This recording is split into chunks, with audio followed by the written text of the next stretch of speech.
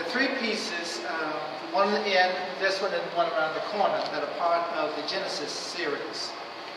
And I like all art. I, I don't put myself in a particular genre or school or anything. My work is not pre-sketched or anything. Uh, I just start. But there's been a whole lot of thinking before I start. Even if I'm doing representational work, it's not pre-sketched or pre-planned. With this, uh, I was taught, my father was my first teacher, and I was exposed to every aspect of art. Uh, pen and ink, drawing, charcoal, pastel, everything. And the one thing that, uh, that I've been interested in is where do you go from here? And I know that many times artists are told to find a particular thing mm-hmm. and stay with that. Mm-hmm. I do not subscribe to that. That's just me. I do what I feel like. And in my artist statement, the first line you'll see is, first of all, I do this for me. I enjoy, I have no problems with um, someone giving me criticism, no problem at all.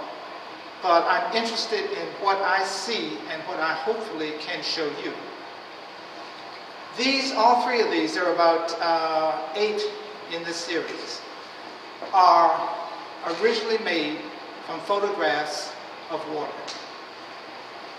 And then it's a matter of how I manipulate those photographs, how I add color to them, how I take color from them, how I build them in different layers. What I cannot show you is, if you see this on the computer, it's three-dimensional. And that becomes fantastic. So one of the things that I'm trying to do is to do these much bigger. My problem is I like to control my work. I'm a Virgo. and I like to control every aspect of my work. And I cannot, because if I'm going to print these things 30 by 40, I don't have the facilities for that. So I've got to go outside and trust someone else to do this for me. And that's, that's a big thing for me. But um, that's my next step uh, as I said, uh, once I started doing this, and again, it was one of those things, serendipity, I wonder what would happen if, and I did this and loved it, and then started uh, getting more and more into it. Uh, I found sometimes in working with the computer, particularly if you're designing, you'll have those sort of um, serendipity moments. You move something with the cursor that you didn't intend to move, and then you realize you've got something else. What I originally started out was with a software that was for charts and graphs. And from that, I developed uh, my math series, uh, which I, I, really love. But I, again, I was thinking, well, where am I going to go from here?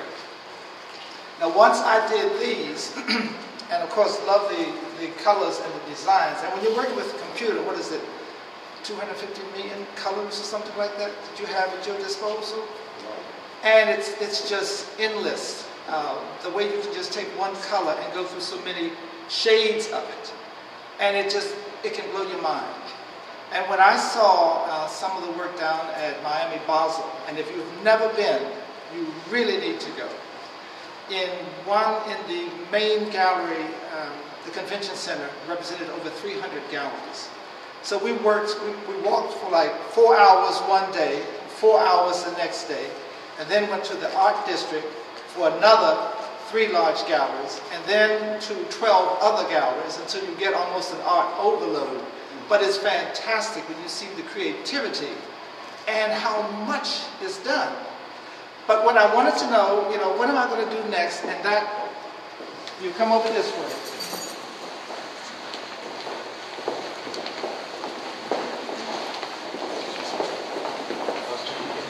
This is shibori. This is based on an 8th century Japanese art form. This is silk. Uh, I have learned how to make more than one copy, which is, difficult, but basically it's one copy. I've been studying the classical folding techniques. Shibori, the closest thing we have to it would be tie-dye, but it's, it's a little more than that. If you've seen some of the beautiful uh, kimonos and you look at them and you think they've been hand painted, but there are thousands of knots and color added to those knots and then released. That's how you do shibori. It's a, it's a way of folding and tying and twisting fabric. And so I really fell in love with using the silk. And I'm trying more and more to get involved in that. And eventually to go to um, Japan for the Shibori Festival. Um, had written some grants for it. Something, nothing's coming through yet, but that's, I'm going to keep trying because I really want to see that, see it in its homeland and see what else they're doing. Because you know, no matter what you see outside of an area, it's only a little bit of what actually exists. Are there any questions? You said you, you're able to, I've seen your shibori pieces before. Mhm. um, You're able to replicate? I can make more than one copy at the same time.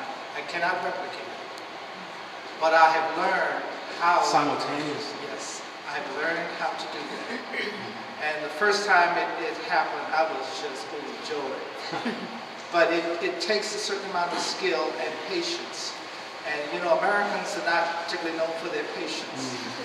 So uh, it's the whole thing is being surprised by what you get. Now I can control the folds, so I'll know whether I'm going to have a square or a triangle or whatever or a line. I can I can pre-plan my designs if I wish to.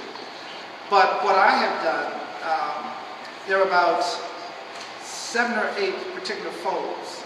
I combine them. None of my pieces are one fold. And so uh, I may combine them and then I may also uh, add color by hand. Something separate from the tying and the fold. But I, I learned this with uh, James and Audrey Brown at the um, Kennedy Recreation Center. They're doing a program there, STARS, for seniors. And I had a really good time learning the process. And so now to really do as much as possible because this is something I really feel. These colors are very muted compared to some of the things that you get with the shibori dyes because they're really very brilliant. But it's also, I, did, I discovered a way of backwashing color and she gave me this process. Mm. Okay? Thank you, Daddy.